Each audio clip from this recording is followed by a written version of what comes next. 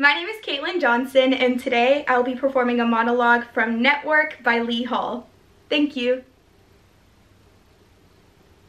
No, I don't think I'll listen to any protestations about high standards of journalism because you are right there soliciting audiences like the rest of us. All I'm saying is that if you're going to hustle, at least do it right. Now, I'll be taking this up at tomorrow's network meeting, but I don't like network hassles and I was hoping that you and I could work this out between us. That's why I'm here, Max. My little visit here tonight was a courtesy made out of respect for your stature in the industry. And because I've personally admired you since I was a kid studying speech at the University of Missouri. But sooner or later, with or without you, I'm going to take over your network show. And I might as well start tonight.